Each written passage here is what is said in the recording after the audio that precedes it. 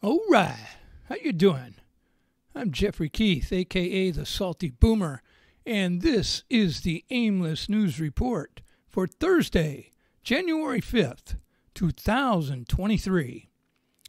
And this is why electric cars are a non-starter, a dead end. The lithium and cobalt is not a renewable source. This is what a lithium mine looks like. Way greener than oil for cars, right?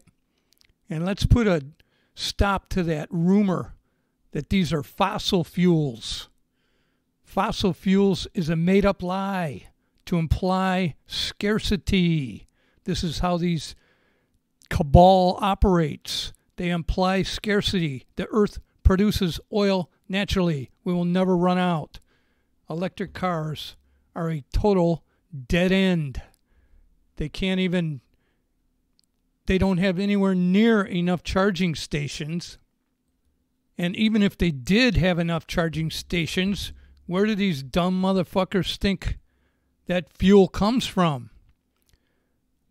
Electric cars, batteries do not generate electricity, they store electricity. It has to be made from something, coal or oil or something. But this is what these green idiots don't understand.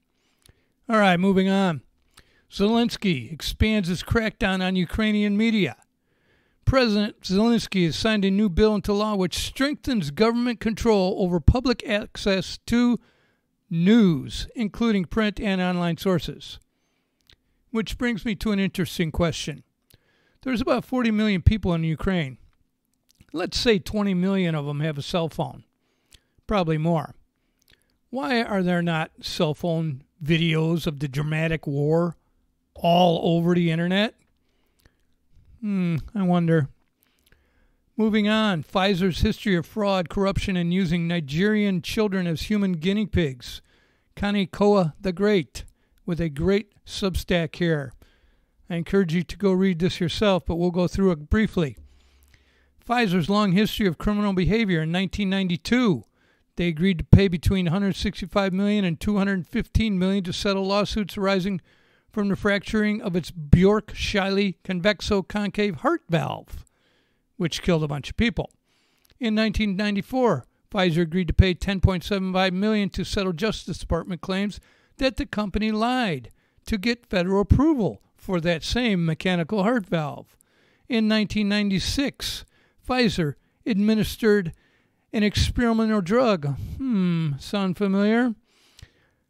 During a clinical trial on 200 children in Nigeria, but never told the parents that their children were the subjects of an experiment. In 2002, Pfizer agreed to pay 49 million to settle allegations that the drug company defrauded the federal government and 40 states by charging too much for its cholesterol treatment. Another lie. There's no such thing as high cholesterol. You want your cholesterol to be high, believe me. In 2004, Pfizer agreed to plead to, guilty to two felonies and paid 430 million in penalties to settle charges that it fraudulently promoted their drug for unapproved uses. In 2008, the New York Times published an article entitled Experts Conclude Pfizer Manipulated Studies. Pfizer delayed the publication of the negative studies, spun negative data to place it in a more positive light, and controlled the flow of clinical research data in order to promote its epilepsy drug. Sound familiar? That same year, the company paid 430 million to settle federal criminal civil claims that one of its subsidiaries had promoted the drug for unapproved uses. Wow, sounds just like now. In 2009, Pfizer was fined $2.3 billion, then the largest healthcare fraud settlement and the largest criminal fine ever imposed in the United States. Pfizer pled guilty to misbranding the painkiller Bextra with the intent to defraud or mislead. Sound familiar? In 2009, Pfizer paid 750 million to settle 35,000 claims that its drug Rezulin was responsible for 63 deaths and dozens of liver failures. Now they've got remdesivir that does the same thing. In 2010, Pfizer was ordered to pay 142 million in damages for violating federal anti-racketeering law by its fraudulent sale and marketing of Neurontin for uses not approved by the FDA. In 2020 in 2010, The New York Times published an article entitled Pfizer Gives Details on Payments to Doctors. Pfizer admitted that it paid about 20 million to 4500 do- doctors and other medical professionals for consulting and speaking on its behalf in the last 6 months of 2009. Pfizer also paid 15 million to 250 academic medical centers and other research groups for clinical trials in the same period. So that continues to this day with our COVID vaccines and other treatments that they have buried. They buy off the doctors, they buy off the universities, and they buy off the media. And that's how this works. And this goes on and on. Illegally bribing 5,000 doctors, pay 75 million to families harmed during the 1996 drug trial. Bribe doctors and other health care professionals. Nearly 10,000 women had uh, hormone replacement therapy drug caused, caused breast cancer. See, they give you this stuff that causes you to get sick. That's why I call out the CDC, the Centers for Disease Creation and Promotion. In 2013, Pfizer agreed to pay 55 million to settle criminal charges of failing to warn patients and doctors about the risk of kidney disease, kidney injury, and kidney failure. In 2013, Pfizer set aside 288 million to settle claims by people that drug Chantix, I think that was for quitting smoking, caused suicidal thoughts and severe psychological disorders. In 2014, Pfizer paid 35 million to settle a lawsuit accusing its subsidiary of promoting the kidney transplant drug for unapproved uses. This is only a partial list of the fraud, corruption, and criminality of Pfizer. But this time, this vaccine, mRNA, an experimental gene therapy that has never been used on humans ever before in the history of ever, we're supposed to believe them. And you can't talk about it if you don't. This guy, a guide to an evil empire, Pfizer lawsuits. This guy named Jestre has put a guy, uh, together a guide of lawsuits that is so extensive that he has to put them in alphabetical order. The link is down below. You can check that out for yourself. I don't think we should be having to believe anything Pfizer says. Emergency amendment approves continuation of the mandatory C19 vaccination of non citizen, non immigrants traveling to the United States by air. So, Potato Head and his administration, this COVID vaccine was set to expire on January 8th. It has now been extended to April 10th. However, if you want to get around that, just fly into Mexico and walk over. There's no checking anybody that's coming in from the Mexican war, uh, border. You can just walk over. This is just utter nonsense. The United States is one of only two countries, I believe, that I could be wrong about that, but I don't, I don't think so, that still requires people to be vaccinated to fly into the country. However, anybody can cross the border with no checks whatsoever on the southern border. And you know why they are letting all those people in? You know why they're letting all them in. It's so when they cheat in 2024, the numbers will work for them. They need all these people. They don't care about these people. They know they're not even going to vote. They don't give a fuck about that. That's already set up. They got that all taken care of, but don't worry about it. What they need those people for is for their numbers to work because they are getting slammed so hard in actual voting that they have to cheat so much that there there is more votes than people. So they need these people in the country to cheat. That is why the borders are wide open. U.S. government agency demanded suspension of 250,000 accounts, including journalists and Canadian officials, and no one seems to care. Did Damar Hamlin suffer a freak 1 in 200 million injury that shuts off blood to the brain? Heart may have been struck during 20 millisecond window when it was most vulnerable, doctors say. I say I don't think so. The Salty Boomer. That's me on Twitter. You can follow me at salty underscore boomer. The link is down below in the description. Why would he delete this tweet? This is Dr. Benjamin Edelman. I recently administered Damar Hamlin's COVID booster on 1226. And as a medical professional, I can assure the public he passed all screenings with flying colors. I am in contact with the UCMC staff and will provide any assistance to them. He deleted this tweet after Damar passed out on the football field on Monday night. The Jets' Max Mitchell is dealing with blood clots, unexpected temporary setback. This is starting to happen, and people are getting real fucking nervous. This guy's got blood clots. He's out for the year. Former Jacksonville Jaguars Uchennuechi. Now, one Nwaneri, sorry about the name there, pal. Big proponent for the vax. 38 years old. He's retired from the NFL. Big proponent. Okay, so let's get these vaccine mandates and vaccine passports up and running ASAP.